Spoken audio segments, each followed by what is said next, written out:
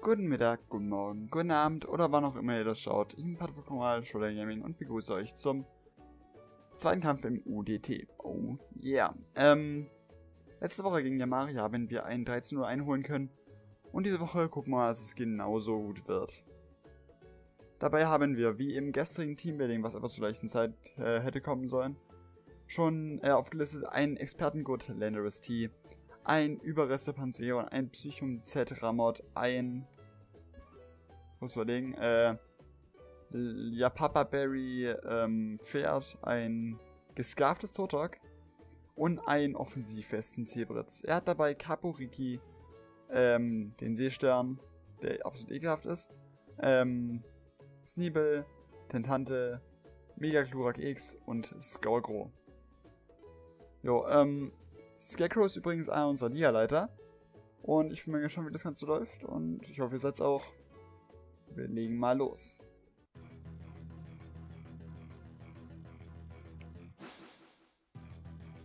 Pokémon Trainer Scarecrow fordert dich heraus. Und da steht Coco Lega in den Kampf. Überragender Name übrigens. Finde ihn sehr gut. Ähm, wir schicken hier Lion Cereals in den Kampf. Auch überragender Name. Ja, ähm. Äh, elektrische Energie fließt durch den Boden und da kommt der Bedroher von mir. Ähm, ich gehe direkt raus in meinen Zebra. Und Leute, könnt ihr diesen Nickname appreciaten, der ist wunderbar.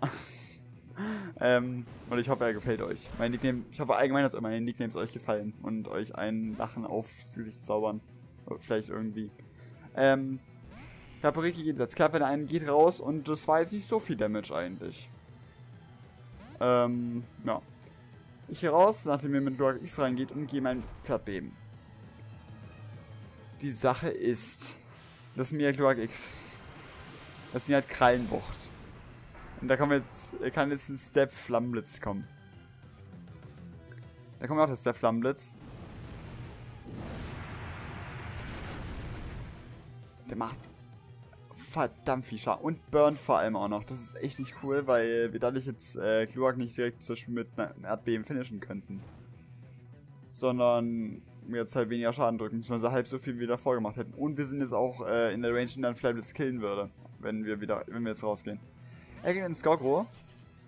Ähm, na, ich gehe auf meine Tarnsteine, weil ich die unbedingt haben wollte. War ein bisschen risky, wenn er jetzt geboostet hätte, hätte ich fast nichts mehr gehabt, was ich da wirklich hätte, wie ich das wirklich hätte spielen können. Deutsch. Ähm, ja. Sein Toxicop triggert. Und ich gehe in meinen Totok. Er weiß noch nicht, dass das Ding gescarft ist. Ähm, ja, ne? Und er geht auf den Schwertanz. Das wäre auch echt böse geworden. Oder es könnte auch echt böse werden. Aber wir sind schneller und haben den Eisstrahl und der geht auch nicht raus. Und damit droppt Scorecode direkt. Und sein Elektrofeld ist weg. Er geht in seinen Akkustella, weil hier wahrscheinlich, dass das Speed Investment hat, schon gemerkt hat, dass mein äh, Toter gescarft ist. Und ich gehe raus in Sebritz, um eben dieses Akkustella abzufangen.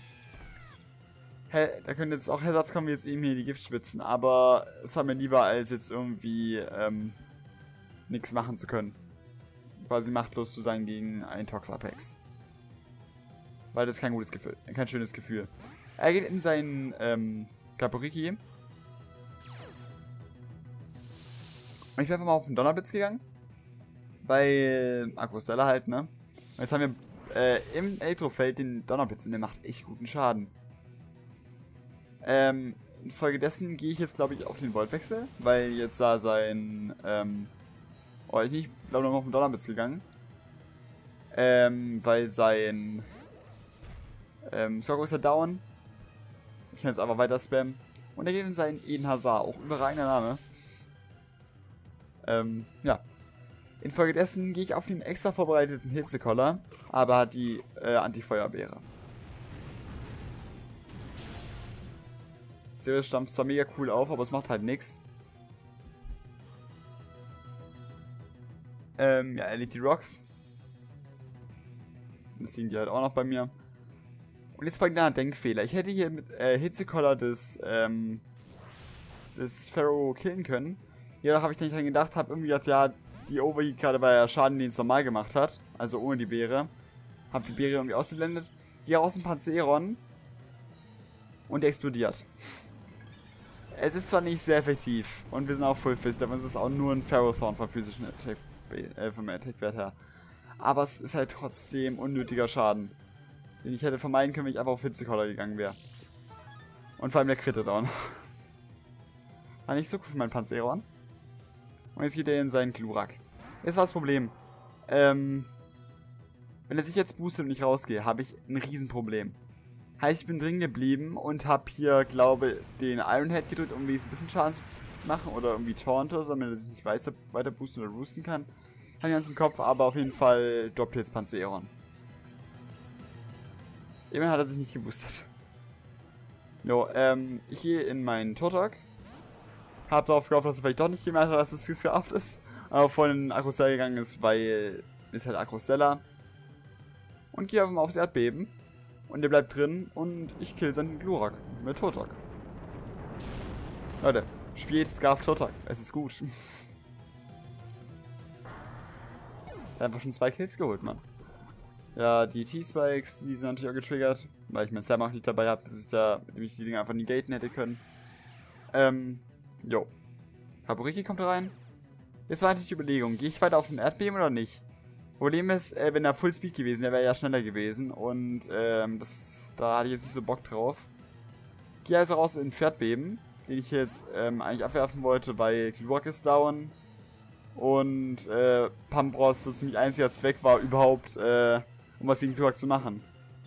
Oder dass ich allgemein was habe, was ich in Glurak reinwerfen kann. Aber durch die Kehrtwende hier, durch meine ja Papa Berry und dadurch bin ich jetzt wieder recht gut voll mit meinem Pferd. Er geht in sein äh, Agrostella rein. Und okay, gehst du aber mal aufs Erdbeben. Du kannst mal gucken, was so, äh, wie das Ding so ausgelegt ist. Hast, du hast es noch nicht großartig attackt. Auf einen Eisstrahl. Und er macht nicht so viel. Tatsächlich äh, waren es, glaube 60 KP. Wenn ich mich nicht beim Ablesen äh, verrechnet habe. Und ich äh, mache ein bisschen Damage. So. Jetzt kriege ich nochmal extra Schaden von der Verbrennung. Und der geht nochmal auf den Eisstrahl. Er ist schneller. Das war jetzt nicht mein Gedanke. Du gehst auf Notsituation. Weil nach ähm, muss er sich quasi entweder hochheilen oder dich killen. Wenn er sich heilt, riskiert er, dass ich hier in äh, Lando oder so rausgehe. Oder in Zebritz. Bei Lando weiß ja auch immer nicht, ob er vielleicht gescarft ist, weil man darf ja ähm, ein Item doppelt spielen. Oder man darf Items doppelt spielen. Halt nicht dreifach, aber doppelt. Ähm, er weiß ja nicht, ob ich gescarft bin. Ich jetzt hier meinen Rostillator. Weil ist einfach das safeste, um hier Akrostella rauszunehmen. Gehe also auf den Donnerblitz und jetzt hat er noch Sneebel und Kaporiki, weil es sollte klar sein, dass das Ding reckt. Wenn er rausgegangen wäre, zum Beispiel Riki, wäre Riki gedroppt und auch Sneebel hätte unfassbar viel Schaden gefressen von Severitz. Einfach weil das Elektrofeld draußen ist. Ja, angesprochenes Elektrofeld ist weg. Er ging in Sneebel. Ähm, ja. Jetzt war eben die Sache. Ähm, er ist tatsächlich schneller folglich als gescarft. Die Sache war, ähm, ich habe hier irgendwie, ich habe da kurz weggeschaut und habe nicht gesehen, dass es Abschlag war. Hab infolgedessen gedacht, das, hat, äh, das Ding ist auf Eissplitter gegangen. Oder, ähm, nee, ich habe äh, hab gedacht, das Ding wäre gebandet auf den Abschlag jetzt. Deswegen Motto-Woche, weil ich den tanken kann. Haben wir gedacht, okay, jetzt habe ich gewonnen. Er geht raus in sein Riki. Ähm, weil, und ich bin auf den Quiver Dance gegangen. Dadurch hätte ich jetzt theoretisch gewonnen. Weil Ramot jetzt äh, Riki und Sneebel killt auf plus 1. Weil die auch beide schon ziemlich gut angehittet sind.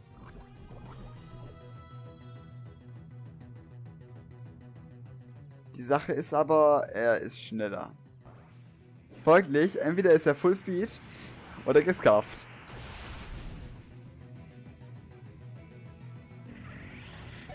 Ja. Wäre ich direkt auf, äh, auf den Flattenwurf gegangen, übrigens hätte ich das wahrscheinlich, äh, ja, hätte ich wahrscheinlich auch nicht direkt gewonnen, weil Sneebel ja auch noch schneller ist durch den Scarf. Und Abschlag dann auch killt durch das, äh, dadurch, dass dann nochmal Toxic Damage draufgegangen, also diese Poison Damage. Ich gehe jetzt den Lion Cereals, weil der hier den Schuss recht gut abfangen sollte, mit seinem guten physischen Bulk. Und eben mit, nach dem Bedroher. Und das ist halt trotzdem nochmal echt guter Schaden. Jetzt ähm, kann er hier ins Nibel gehen.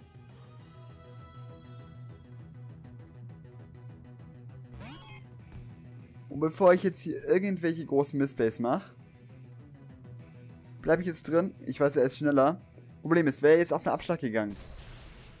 Der hätte Leno theoretisch gekillt. Aber Totok eben äh, auch richtig viel Schaden gemacht.